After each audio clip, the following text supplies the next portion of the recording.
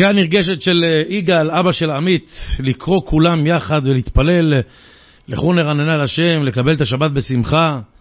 עוררה עדים רבים בכל הארץ והעולם, וכולם קיבלו את השבת בשמחה, וכל זה לעילוי נשמת החייל, שנכתב בדמי ימיו, שיהיה בשורות טובות בעזרת השם. התקשרנו לחזק רבה. את ידיך, אנחנו בשידור חי, אה, ולומר, וקיצור ברא לנו שוכני עפר, והוא בתוכם. איך זה ההרגשה להיות אה, מוביל בכל הארץ והעולם את המצווה החשובה הזו של קבלת שבת? זה אחד הדברים שמאוד מאפיינים אה, את עמית בנושא של אה, משפחתיות, של שבת, של אה, השילוב הזה של בין, חודש, בין חול לקודש, לעשות כמה שיותר דברים טובים.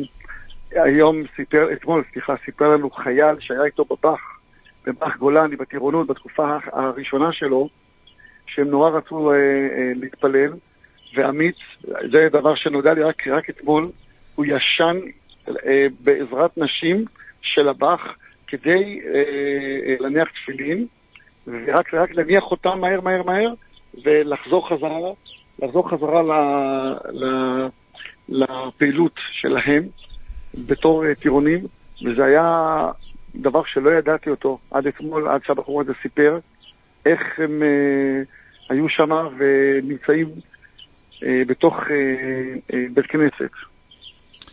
תראה, כאבא שכול לאבא שכול, אני יודע שאי אפשר לנחם.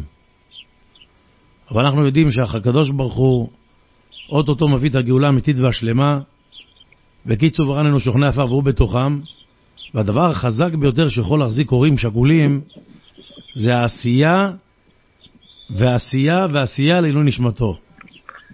כן, תשמע, עכשיו אה, אנחנו מקבלים כל היום אנשים מקסימים. עם ישראל היפה, עם ישראל, אתה, אתה ודאי, אה, כשאתה עברת את זה, אתה בטח ראית את עם ישראל היפה. נכון. היום אני חווה את הדבר, את הדבר הנורא הזה, והדבר הקשה הזה, לאבד ילד, לאבד ילד בפעילות מבצעית, שראש הממשלה, נשיא המדינה, כל צמרת הצבא שהיו אצלנו, אם זה, אם זה המח"ט של גולני, המ"פ של גולני, מ"מ, כל האנשים, מג"ד כמובן, כולם, כולל כולם, אומרים לי, אדון ברוך, עמית היה גיבור. זה ילד שהציל חיילים, זה ילד ש... שעשה קידוש השם. והרב הראשי של הצבא היה אצלנו היום, ואתה יודע, הוא אמר שרבי שמעון בר יוחאי בכבודו בעצמו לקח את עמית למעלה, ישר לרבי, ש- ל- ל- לרבי נכון. עקיבא ללא משפט.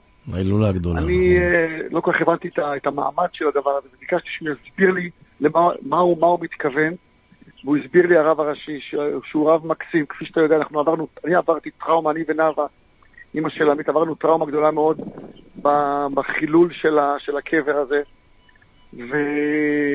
ואנחנו עדיין לא רגועים ממה ש- מה ש- מה שחווינו.